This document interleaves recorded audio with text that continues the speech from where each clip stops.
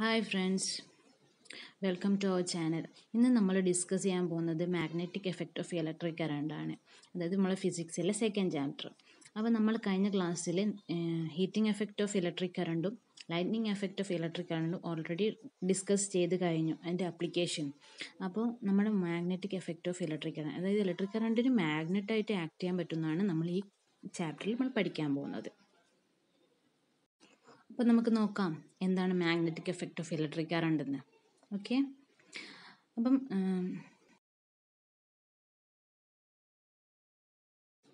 Hans Christian Oersted ആണ് നമുക്ക് electro magnetic എഫക്റ്റിനെ കുറിച്ച് പറഞ്ഞു തന്നത്. അദ്ദേഹം പറഞ്ഞത് എന്താണെന്ന് വെച്ച് കഴിഞ്ഞാൽ current carrying conductor act as a magnet ഒരു കര കണ്ടക്ടറിലൂടെ കറണ്ട് പാസ് ചെയ്യുമ്പം അതൊരു മാഗ്നറ്റായിട്ട് ആക്ട് ചെയ്യുമെന്ന്.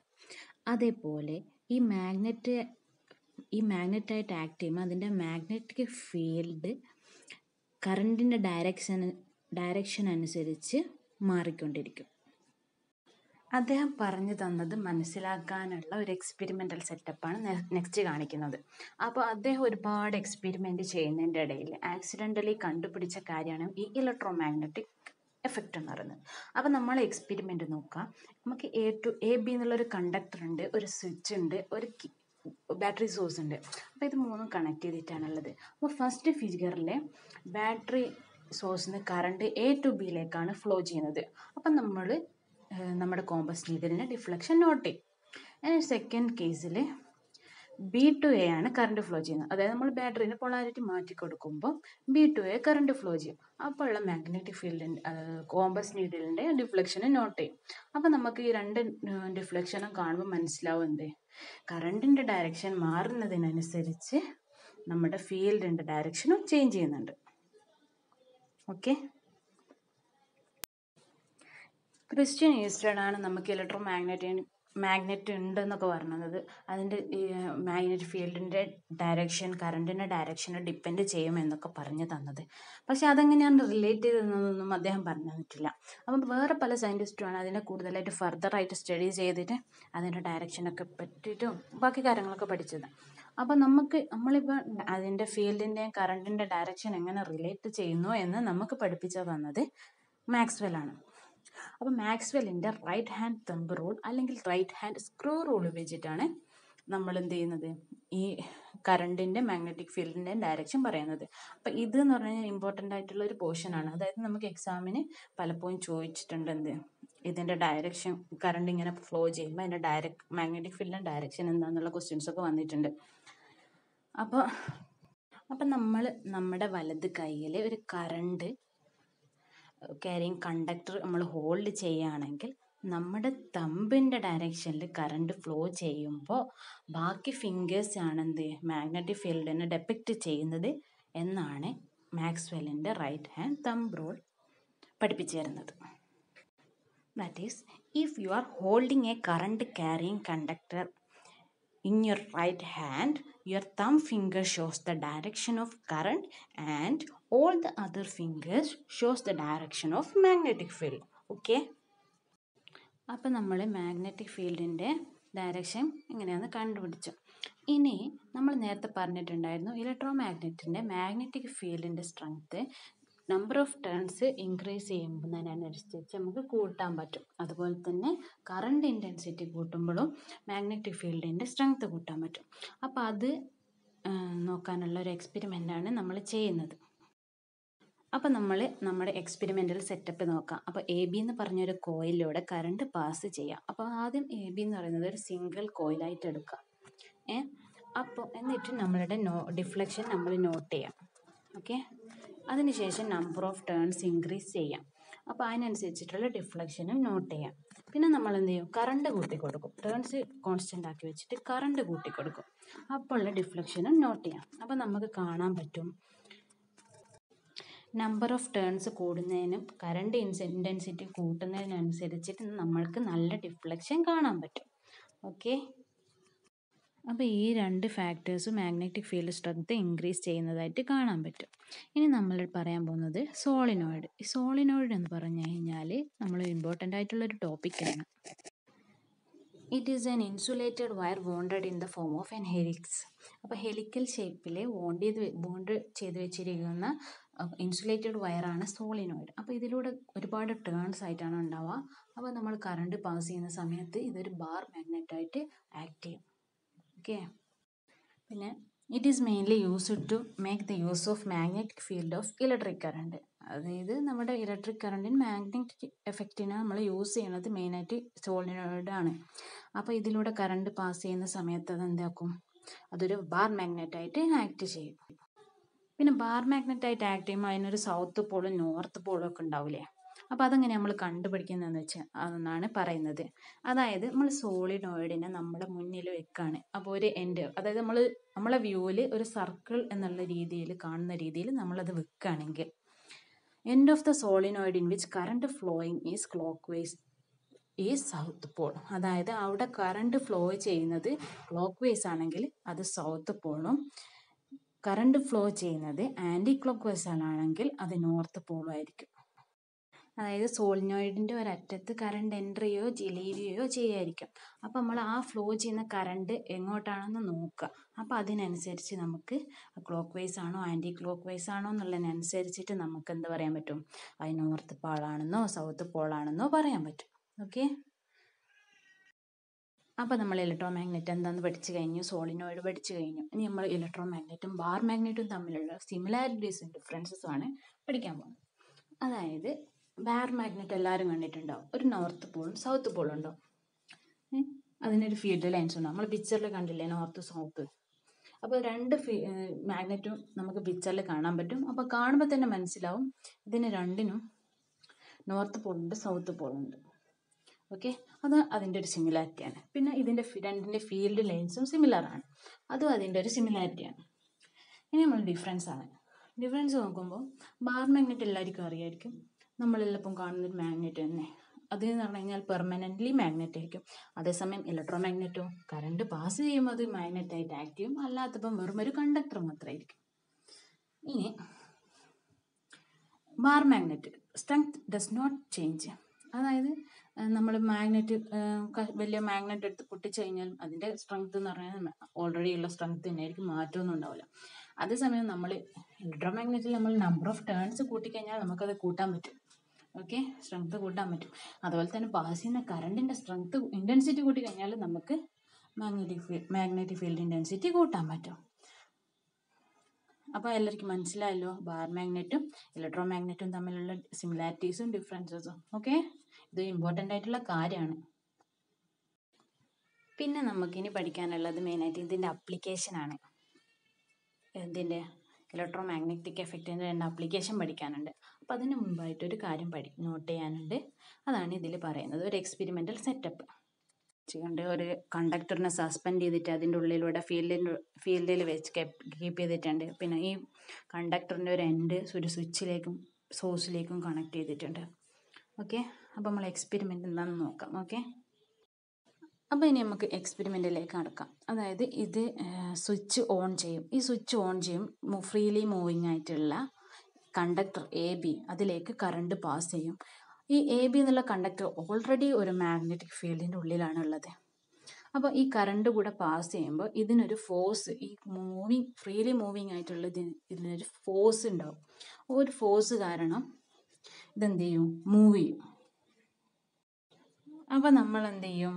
ഈ ഫോഴ്സ് എക്സ്പീരിയൻസ് ചെയ്ത് ചെയ്യുന്നതിനെയും അതുപോലെ തന്നെ അതിന്റെ ഡയറക്ഷൻ ഏതിലോട്ടാണ് ഏത് സൈഡിലോട്ടാണ് മൂവ് ചെയ്യുന്നത് ഡിഫ്ലക്ഷൻ എങ്ങോട്ടാന്നുള്ളത് നമ്മൾ നോട്ട് ചെയ്ത് വെക്കുക.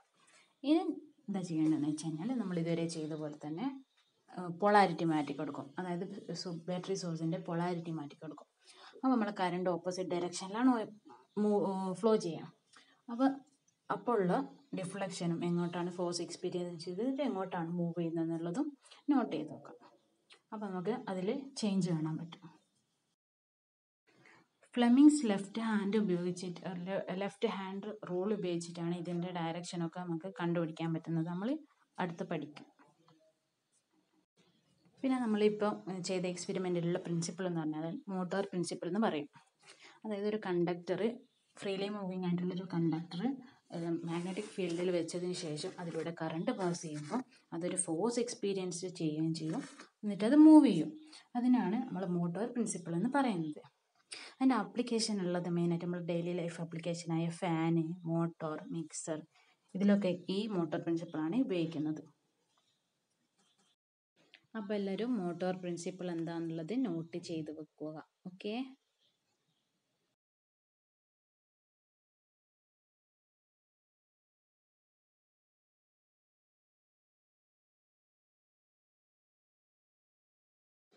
അപ്പോൾ നമ്മൾ ഈ ഫോഴ്സിന്റെയും ഇപ്പം പറഞ്ഞ മോട്ടോർ പ്രിൻസിപ്പിളിന്റെ ഫോഴ്സിന്റെയും കറണ്ടിന്റെയും മാഗ്നറ്റിക് ഫീൽഡിന്റെയും ഡയറക്ഷൻ പഠി എങ്ങനെയാണ് കണ്ടുപിടിക്കാമെന്ന് പഠിക്കുന്നത്. അത് നമ്മൾ ഫ്ലെമിങ്സ് ലെഫ്റ്റ് ഹാൻഡ് റോൾ ഉപയോഗിച്ചിട്ടാണ് പഠിക്കുന്നത് ഓക്കെ? അപ്പോൾ നമ്മുടെ ലെഫ്റ്റ് ഹാൻഡ് വെച്ചിട്ട് നമുക്ക് ഇതിന്റെ ഡയറക്ഷൻ കൺ പറയാൻ പറ്റും.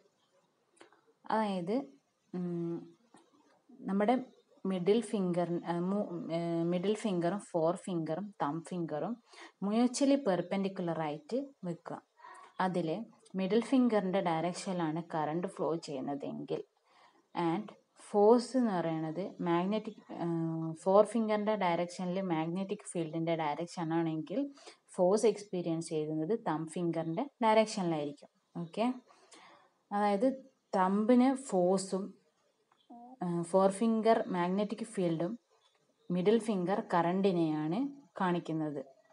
ഇതാണ് നമ്മുടെ ഫ്ലെമിങ്സ് ലെഫ്റ്റ് ഹാൻഡ് റോൾ ഇതെല്ലാവരും ചെയ്തിട്ട് തന്നെ പഠിക്കണം കൈകൊണ്ട് തന്നെ പഠിക്കണം. കാരണം എക്സാമിനെല്ലാം ചോദിച്ച് കാണുന്നുണ്ട് ക്വസ്റ്റ്യൻ അപ്പോൾ നമ്മൾ ലെഫ്റ്റ് ഹാൻഡ് വെച്ചിട്ട് നമുക്ക് എന്ത് പറയാൻ പറ്റും? ഇതിന്റെ മൂന്നിന്റെ ഡയറക്ഷൻ പറയാൻ പറ്റും.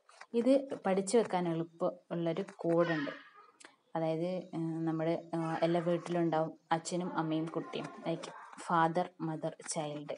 അപ്പോൾ നമ്മൾ ഫാദറിന്റെ എഫും മദറിന്റെ എമ്മും ചൈൽഡിന്റെ സിയും എടുക്കുകയാണ് എന്നിട്ട് നമ്മൾ thumb finger father mid fore finger mother child. Then middle finger child. ആ ഒരു ഓർഡറിൽ പഠിച്ചു വെക്കുകയാണെങ്കിൽ ഇതിന്റെ ഫസ്റ്റ് ലെറ്റർ വെച്ചിട്ട് നമുക്ക് എന്ത് ചെയ്യാൻ എളുപ്പത്തിൽ ഇത് ഓർമ്മിച്ച് വെക്കാൻ പറ്റും. ഓക്കെ? അപ്പോൾ എല്ലാവരും ഇത് നോട്ട് ചെയ്ത് വെക്കണം.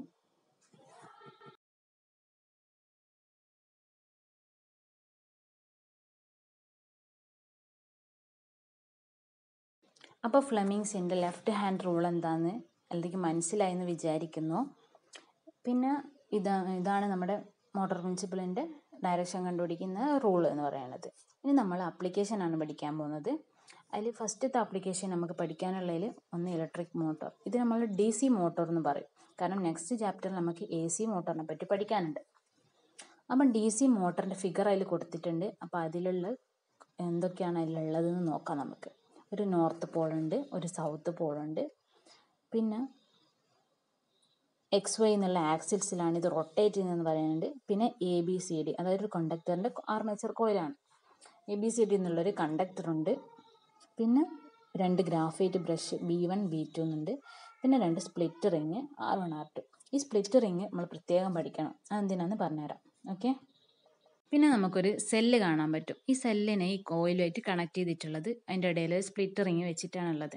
അപ്പോൾ നമ്മൾ കറണ്ട് ഫ്ലോ ചെയ്യുന്ന സമയത്ത് ഇതിലൂടെ കറണ്ട് ഫ്ലോ ചെയ്യും. ആർമേച്ചർ കോയിലൂടെ പാസ് ചെയ്യുമ്പോൾ അതിങ്ങനെ റൊട്ടേറ്റ് ചെയ്യും. അതായത് മൂവ് ചെയ്യും. ഒരു ഫോഴ്സ് എക്സ്പീരിയൻസ് ചെയ്യും നമ്മൾ പഠിച്ചല്ലോ. അപ്പോൾ രണ്ട് മാഗ്നറ്റിന്റെ ഇടയിലാണ് ഉള്ളത് അപ്പം ഫോഴ്സ് എക്സ്പീരിയൻസ് ചെയ്യും. പക്ഷേങ്കിൽ അത് എന്ന് പറഞ്ഞു കഴിഞ്ഞാൽ നമുക്ക് ബാറ്ററീന്റെ പൊളാരിറ്റി ഒന്നും ഒരിക്കലും നമുക്ക് മോട്ടറിന്റെ ഉള്ളിൽ പോയിട്ട് ചെയ്യാൻ പറ്റില്ല അപ്പോൾ അതിനാണ് നമ്മൾ സ്പ്ലിറ്റ് റിങ് യൂസ് ചെയ്യണത്. അപ്പോൾ സ്പ്ലിറ്റ് റിങ്ങിന്റെ ഫംഗ്ഷൻ എന്ന് പറഞ്ഞാൽ സ്പ്ലിറ്റ് റിങ് അല്ലെങ്കിൽ കമ്മ്യൂട്ടേറ്റർ റിങ് നമ്മൾ പറയും. അപ്പോൾ ഇതിന്റെ ഫംഗ്ഷൻ എന്താണെന്ന് വെച്ച് കഴിഞ്ഞാൽ ഓരോ ഹാഫ് റൊട്ടേഷനിലും ഈ എ ബി സി ഡി എന്നുള്ളത് ഒരേ ഡയ എ ബി എന്നുള്ളതും സി ഡി എന്നുള്ളതും ഒരേ ഡയറക്ഷനിലാണ് ഇത് മൂവ് റൊട്ടേറ്റ് ചെയ്യുന്നത്. അപ്പോൾ ഓരോ ഹാഫ് റൊട്ടേഷനിലും ഈ കറണ്ടിന്റെ പൊളാരിറ്റി ചേഞ്ച് ചെയ്യുക എന്നുള്ളതാണ് ഈ സ്പ്ലിറ്റ് റിങ്ങിന്റെ ഫംഗ്ഷൻ അപ്പോൾ കറണ്ടിന്റെ പൊളാരിറ്റിയിൽ ചേഞ്ച് ചെയ്യുമ്പോൾ ഓപ്പോസിറ്റ് ഡയറക്ഷനിൽ മൂവ് ചെയ്യും റൊട്ടേറ്റ് ചെയ്യും. അങ്ങനെ ആകുമ്പം കണ്ടിന്യൂസ് ആയിട്ടുള്ള റൊട്ടേഷൻ നടക്കും. അപ്പോൾ നമ്മൾ എന്ത് ചെയ്യും? ഈ ഇലക്ട്രിക്കൽ എനർജീനെ നമുക്ക് മെക്കാനിക്കൽ എനർജി ആയിട്ട് കൺവേർട്ട് ചെയ്യുന്നു. അതല്ലേ നമ്മളെ മോട്ടറിന്റെ ഫങ്ഷൻ എന്ന് പറയുന്നത്. ഇലക്ട്രിക്കൽ എനർജീനെ മെക്കാനിക്കൽ എനർജി ആയിട്ട് കൺവേർട്ട് ചെയ്യുന്നു. അപ്പോൾ ഇതിങ്ങനെ റൊട്ടേറ്റ് ചെയ്യുന്ന സമയത്താണ് നമ്മൾ മിക്സിയിലാണെങ്കിലും മോട്ടോറിലാണെങ്കിലും എല്ലാം ഫങ്ഷൻ ചെയ്യുന്നത് ഈ ഇതിങ്ങനെ റൊട്ടേറ്റ് ചെയ്യും. കംപ്ലീറ്റ് റൊട്ടേറ്റ് കണ്ടിന്യൂസ് റൊട്ടേഷൻ ഉണ്ടാകുമ്പോഴാണ് അപ്പം ഇലക്ട്രിക്കൽ മോട്ടോർ എല്ലാവർക്കും മനസ്സിലായോ? ഇത് ഡി സി മോട്ടോറാണ് എ സി മോട്ടോർ അല്ല കേട്ടോ. അപ്പോൾ ഈ ഡി സി മോട്ടോറിലാണ് ഈ ബാറ്ററി സോഴ്സ് ഇങ്ങനെ കണക്ട് ചെയ്തിട്ടുള്ളത്. നമുക്ക് അടുത്ത ചാപ്റ്ററിൽ നമുക്ക് എ സി മോട്ടോറും പഠിക്കാനുണ്ട്. അതുപോലെ തന്നെ ജനറേറ്ററും പഠിക്കാനുണ്ട്. അപ്പോൾ എന്താ പറയണ്ടേ? അത് മാറിപ്പോകരുത് ഓക്കെ? കൺഫ്യൂഷൻ ഉണ്ടാവും. പക്ഷേങ്കിൽ അത് ശരിക്കും പഠിക്കണം. ഇത് ഇപ്പം തന്നെ പഠിച്ചു കഴിഞ്ഞു കഴിഞ്ഞാൽ അത് എളുപ്പമായിരിക്കും ഓക്കെ? അതുപോലെ തന്നെ പിന്നെ ഇതിൽ നോട്ട് ചെയ്യേണ്ട ഒരു കാര്യമാണ് സ്പ്ലിറ്റ് റിങ് ഇതിൽ സ്പ്ലിറ്റ് റിങ് ആണ് യൂസ് ചെയ്യുന്നത്. നമ്മൾ ജനറേറ്ററിന്റെ കേസിൽ സ്ലിപ്പ് റിങ് ആണ് യൂസ് ചെയ്യുക. അപ്പോൾ അത് തമ്മിൽ മാറിപ്പോകരുത് ഓക്കെ? പിന്നെ ഈ സ്പ്ലിറ്റ് റിങ്ങിന് നമ്മൾ കമ്മ്യൂട്ടേറ്റഡ് റിങ് എന്ന് പറയുന്നതിന്റെ കാരണം എന്ന് വെച്ചാൽ ഈ കമ്മ്യൂട്ടേറ്റ് എന്ന് പറഞ്ഞു കഴിഞ്ഞു കഴിഞ്ഞാൽ തിരിക്കുക എന്നാണ് അതിന്റെ മീനിങ്. അപ്പോൾ നമ്മൾ കറണ്ടിന്റെ ഡയറക്ഷൻ ഇങ്ങനെ മാറ്റുന്നതുകൊണ്ടാണ് ഈ കമ്മ്യൂട്ടർ റിംഗ് എന്ന് അതിന് പറയുന്നത്. ഓക്കെ അപ്പം നമ്മൾ ഇലക്ട്രിക്കൽ മോട്ടോർ ഇലക്ട്രിക് മോട്ടോറിന്റെ ആപ്ലിക്കേഷൻ അതായത് ഫസ്റ്റ് ആപ്ലിക്കേഷൻ മെയിനായിട്ട് പഠിക്കാനുള്ളത് കഴിഞ്ഞു. ഇനി നമ്മൾ പഠിക്കുന്നത് മൂവിങ് കോയിൽ ലൗഡ് സ്പീക്കർ അപ്പോൾ ഒരു moving coil loud speaker moving coil loud speaker എന്ന് പറഞ്ഞാൽ ലൗഡ് സ്പീക്കറിന്റെ ഫംഗ്ഷൻ എന്താണ്? അതായത് നമ്മൾ കൊടുക്കുന്ന ചെറിയ സൗണ്ടിനെ ആംപ്ലിഫൈ ചെയ്തിട്ട് തരിക എന്നുള്ളതാണ് ലൗഡ് സ്പീക്കർ ചെയ്യുന്നത്. അപ്പോൾ ഈ മൂവിങ് കോയിൽ ലൗഡ് സ്പീക്കർ എന്താണെന്നുള്ളതാണ് നമ്മൾ പഠിക്കുന്നത്. അതായത് നമ്മൾ ചെറിയ രീതിയിൽ സംസാരിക്കുന്ന കാര്യങ്ങൾ നമ്മൾ എന്ത് ചെയ്യും? ഇലക്ട്രിക്കൽ സിഗ്നലിലേക്ക് കൺവേർട്ട് ചെയ്യും. ഇലക്ട്രിക്കൽ സിഗ്നൽ എന്ന് പറഞ്ഞു കഴിഞ്ഞാൽ കറണ്ടാണ് കേട്ടോ അപ്പോൾ നമ്മൾ കൊടുക്കുന്ന ഇൻപുട്ട് കറണ്ടാണ് നമ്മൾ ഇതിൽ ലൗഡ് സ്പീക്കറിന് കൊടുക്കുന്നത്. ഇനി ഇതിന്റെ സെറ്റപ്പ് നോക്ക്. നേരത്തെ കണ്ട പോലെ തന്നെ ഫീൽഡിനുള്ളിലാണ് എന്ത് വോയിസ് കോയിൽ വെച്ചിട്ടുള്ളത്. പിന്നെ അത് ഒരു അറ്റാച്ച് ചെയ്തിട്ടാണുള്ളത് ഒരു സോഫ്റ്റ് അയൺ കോറിൽ അറ്റാച്ച് ചെയ്തിട്ടാണുള്ളത്. അതുപോലെ തന്നെ അതിന്റെ ഒരു എൻഡ് എന്ന് പറയുന്നത് ഡയഫ്രം എന്ന് പറയുന്ന ഡയഫ്രത്തിലോട്ട് അറ്റാച്ച് ചെയ്തിട്ടുണ്ട്. ഈ ഡയഫ്രം എന്ന് പറഞ്ഞാൽ ഒന്നുകിൽ ഒരു വലിച്ച് നീട്ടിക്കെട്ടിയ തുണിയോ അല്ലെങ്കിൽ ഒരു ഷീറ്റോ അങ്ങനെ എന്തെങ്കിലുമാണ് ഈ ഡയഫ്രം അതായത് നല്ല സ്ട്രെച്ച് ചെയ്തിട്ടുള്ളൊരു സാധനമാണ് ഡയഫ്രം അപ്പം നമ്മൾ ഇൻപുട്ട് ഇലക്ട്രിക്കൽ സിഗ്നൽ കൊടുക്കുന്ന സമയത്ത് ഫീൽഡിനുള്ളതാണ് ഫീൽഡിനുള്ളിലാണുള്ളത്. അപ്പോൾ അതൊരു ഫോഴ്സ് ഉണ്ടാവും. അത് മൂവ് ചെയ്യും. നമ്മൾ പഠിച്ചു. അപ്പം ഒരു അറ്റാച്ച് ചെയ്തിട്ടുള്ളതായതുകൊണ്ട് മൂവ് ചെയ്യാൻ പറ്റില്ല മൂവ് ചെയ്യാൻ പറ്റാത്തതുകൊണ്ട് അത് vibrate to and fro vibration ആയിരിക്കും. അപ്പോൾ ഇതിങ്ങനെ ടു ആൻഡ് ഫ്രോ വൈബ്രേറ്റ് ചെയ്യുന്ന സമയത്ത് അത് ഡയഫ്രത്തിലേക്ക് ഒരെൻഡ് അറ്റാ അറ്റാച്ച് ചെയ്തിട്ടുള്ളത്. അപ്പോൾ ഈ ഡയഫ്രത്തിലേക്ക് അറ്റാച്ച് ചെയ്ത കാരണം ഡയഫ്രോം വൈബ്രേറ്റ് ചെയ്യാൻ തുടങ്ങും. ഈ ഡയഫ്രോം വൈബ്രേറ്റ് ചെയ്യുമ്പോൾ ചുറ്റുമുള്ള എയർ മോളിക്യൂൾസ് ആയിട്ട് കൊളൈഡ് ചെയ്തിട്ട് എന്ത് ചെയ്യും? സൗണ്ട് സിഗ്നൽസ് പ്രൊഡ്യൂസ് ചെയ്യും. അങ്ങനെയാണ് നമ്മൾ moving coil loud speaker work ചെയ്യുന്നത്. എല്ലാവർക്കും മനസ്സിലായോ? ഓക്കെ. നമ്മൾ ഇലക്ട്രിക്കൽ സിഗ്നൽ കൊടുക്കുമ്പം ഈ വോയിസ് കോയിൽ വൈബ്രേറ്റ് ചെയ്യും. ഈ വൈബ്രേറ്റ് ചെയ്യുന്നതിന്റെ വോയിസ് കോയിലിന്റെ ഒരു എൻഡ് എന്ന് പറയുന്നത് ഡയഫ്രത്തിനായിട്ട് അറ്റാച്ച് ചെയ്തിട്ടാണുള്ളത്. അപ്പം ഈ ഡയഫ്രം എന്ത് ചെയ്യും? വൈബ്രേറ്റ് ചെയ്യും. ഈ ഡയഫ്രം വൈബ്രേറ്റ് ചെയ്യുന്നത് കാരണം സൗണ്ട് പ്രൊഡ്യൂസ് ചെയ്യും. അതാണ് ഇതിന്റെ വർക്കിംഗ് അപ്പോൾ നമ്മളെ സെക്കൻഡ് ചാപ്റ്റർ ഇത്രയേ ഉള്ളൂ. അപ്പോൾ താങ്ക് യു ഫോർ വാച്ചിങ് നമുക്ക് നെക്സ്റ്റ് ചാപ്റ്ററായിട്ട് കാണാം.